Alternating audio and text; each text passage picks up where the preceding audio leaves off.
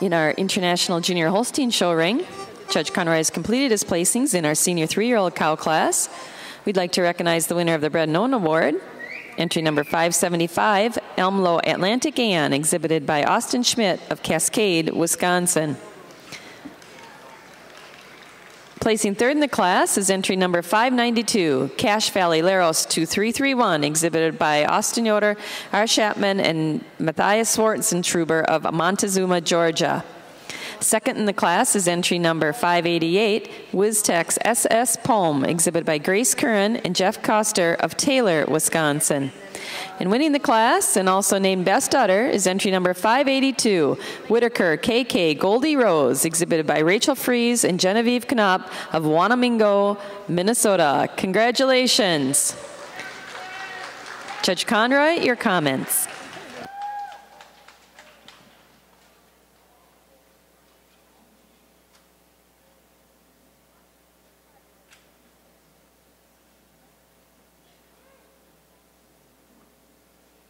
Well, a very, very incredible group of uh, senior three year olds all the way through. Uh, the cow that wins today for us does so easily.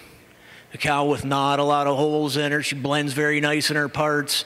Uh, she's extremely stylish on the move. She has the advantage over the cow in second on that mammary system. She's snugger in that fore udder, uh, both sides.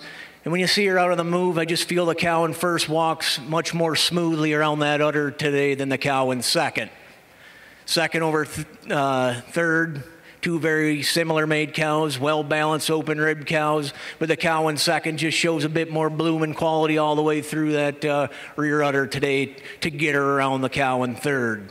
Third over fourth again on that mammary system.